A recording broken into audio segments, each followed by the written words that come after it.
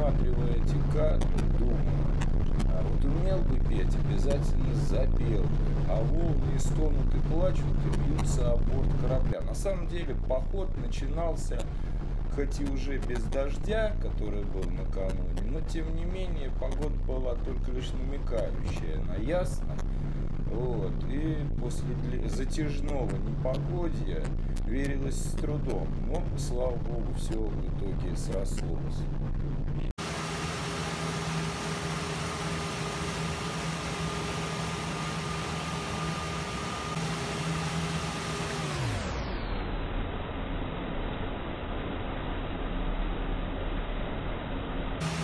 Привет, капитаны! С вами кормщик Карбаса Помор, боцман Карбаса Помор. И мы отправляемся в первое учебно-тренировочное плавание этого года. Наш маршрут от яхт-клуба МРП Московский речной порт до порта Кимры. Сейчас мы движемся по Клязьминскому водохранилищу Впереди нас ждет 6 шлюзов, канал имени Москвы, э, Иваньковское водохранилище. Встреча с хорошо знакомым, самым высоким на э, Волге памятником Владимиру Ильичу Ленину.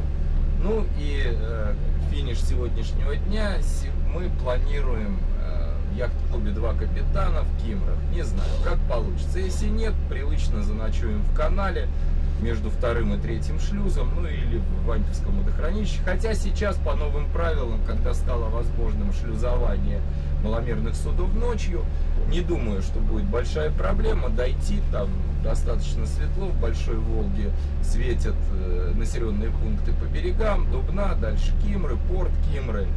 Ну и э, обстановка навигационная уже выставлена, будет подсвечена, я надеюсь, поэтому проблем не возникнуть не должно.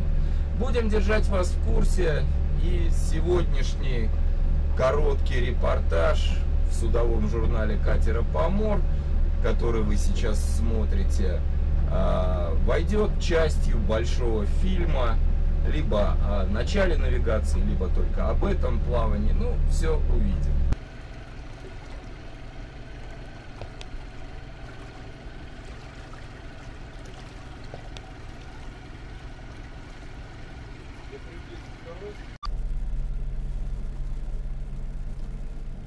Входим в канал.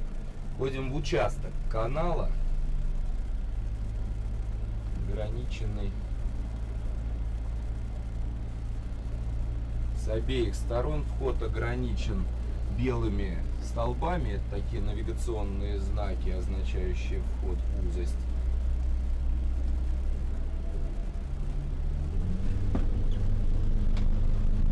Вот я немного прибавил оборотов. Однако, выйдя из Клясминского водохранилища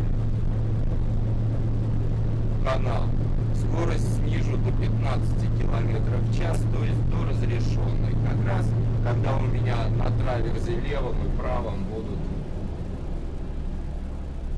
знаки. Вот с такой скоростью мы и двинемся по каналу.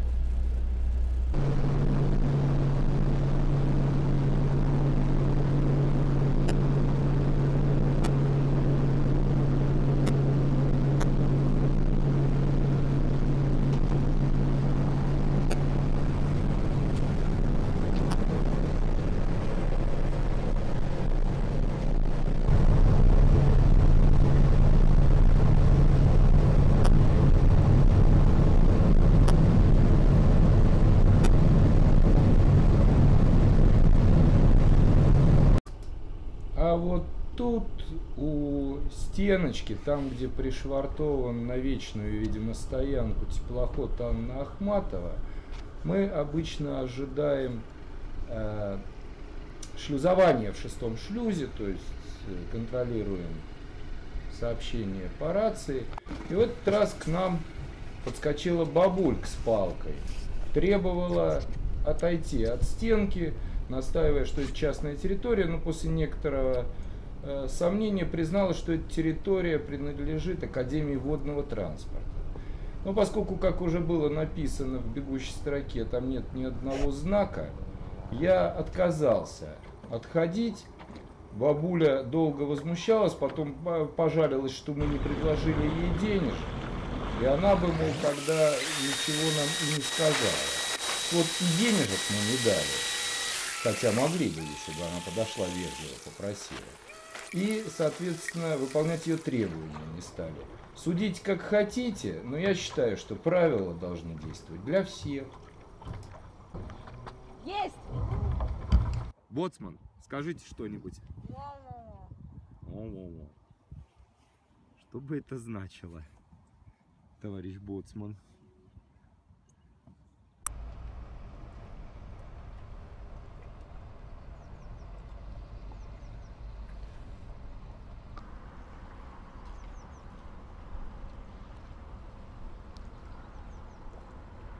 Заходит катер Санади.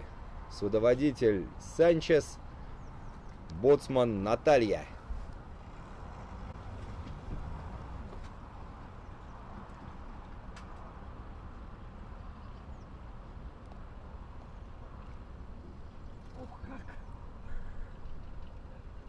Профи. Рукой. Профи.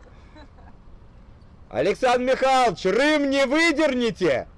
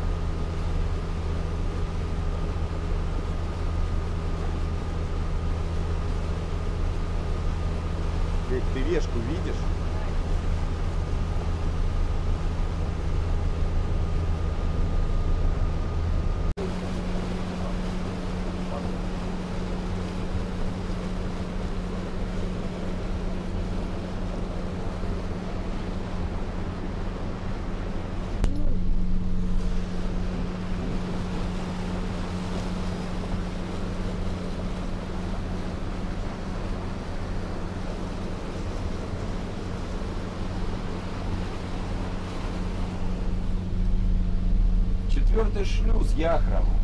Третий на нашем сегодняшнем пути и четвертый по нумерации канала имени Москвы. Заходим. Танец. Пожалуйста, танец.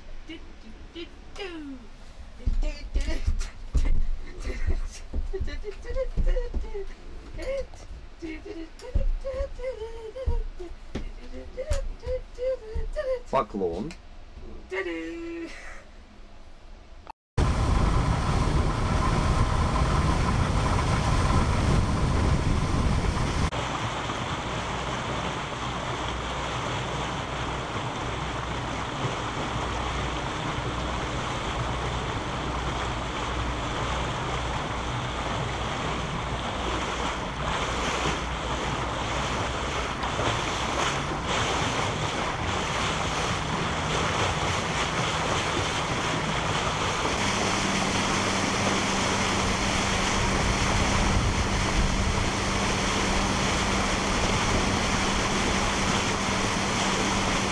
Ну вот, это то место между вторым и ш- третьим шлюзом, круиз-клуб, о котором я рассказывал в прямом эфире. Прямо отсюда, из вот того вот слева беленького здания, это ресторан. Э, собственно говоря, место хорошее, так что если кому-то важно при нужно при планировании своего путешествия, вернитесь назад, посмотрите запись.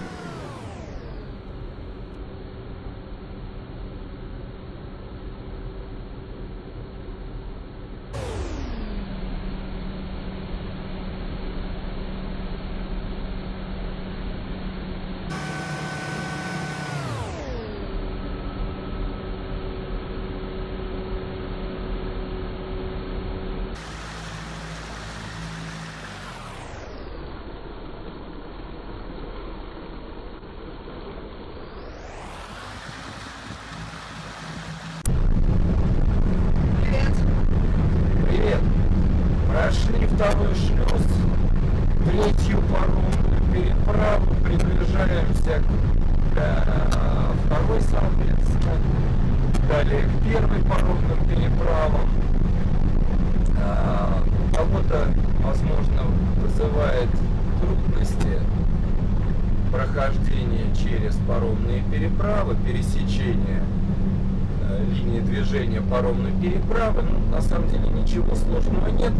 Э, единственное, что когда вы идете по каналу имени Москвы, ваша рация включена на третьем канале, на шлюзовом, подходя к паромной переправе, необходимо перейти на общий э, канал ВВП на пятый, потому что паромные переправы работают именно на них. Ну что, капитаны, дошли мы до нашего любимого места, до входа в Большую Волгу, первого шлюза, он находится там, там второй. По пути движения ко второму шлюзу Михалыч и Боксер находят, э, тоже расположены на акватории. И, конечно же, Владимир Ильич, боцман изобразите. Уже неоднократно я рассказывал про этот памятник, э, повторяться не стану. Просто напомню, что у нас есть традиция подойти к нему перед прохождением первого шлюза, ну, либо сразу после этого, если мы идем из Волги, постоять. Вот преимущество алюминиевого катера. Некоторые пластики болтаются в дрейфе, а мы стоим у берега. Можем сделать физзарядку при случае даже.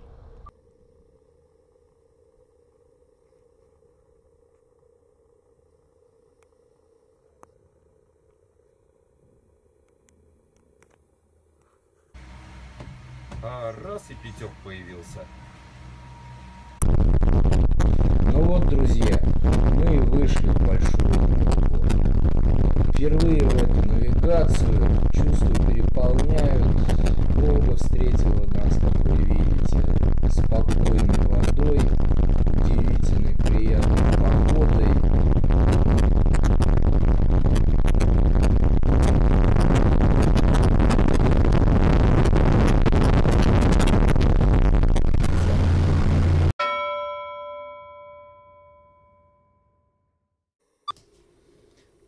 Утро второго дня.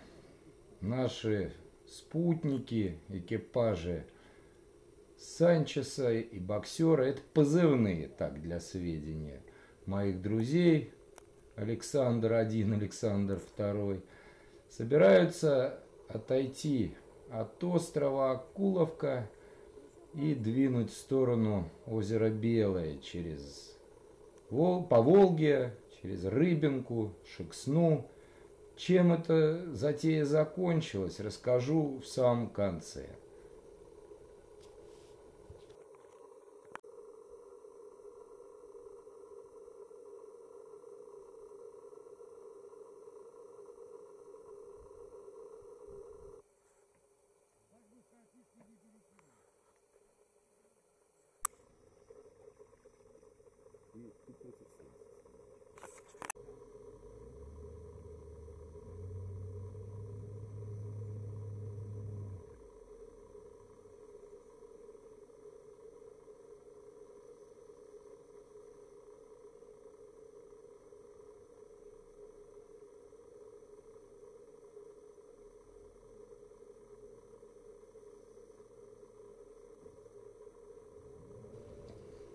Надо сказать, что к этому моменту на острове мы, конечно же, были уже далеко не одни. И помимо нас с боцманом, этих двух экипажей, э, на острове находились еще несколько судов со своими экипажами, но о них чуть позже. Их приход-отход я показать не смогу, поскольку при этом сам не присутствовал. Вот это, друзья мои, последствия прохождения моторной яхты мимо нашего острова.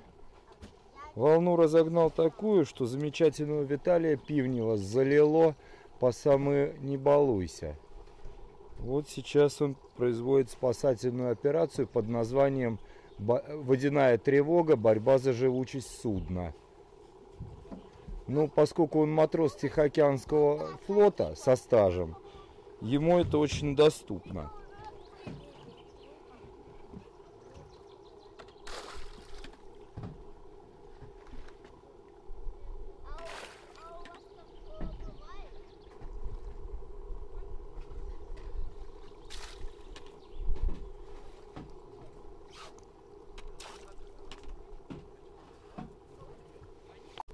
Ничего удивительного. Боцман в своем репертуаре хомячит. Боцман хомячит. Батенька, он, между прочим, очень нам помог. Помог, Да, боцман. Очень даже помог, да. Он оказал не то что посильное, очень активное Ой. участие в спасении этого самого судна. Вот какой боцман. Ну, Моя школа. гордись. Горжусь.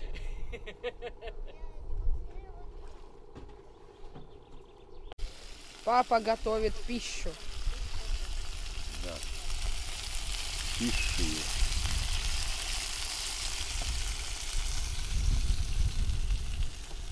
Все, там такие вот полоски. У BMW есть такое, что она в цвет. Вот, все замечательно. И он, он, он Я он ниндзя. открывал. А потом уже перед продажей он так хорошенько промыл, по- помыл перед продажей. И, видимо, уже просто срок наступил. И одна оторвалась. Ну, такой, о, о, ой, странно. как-то.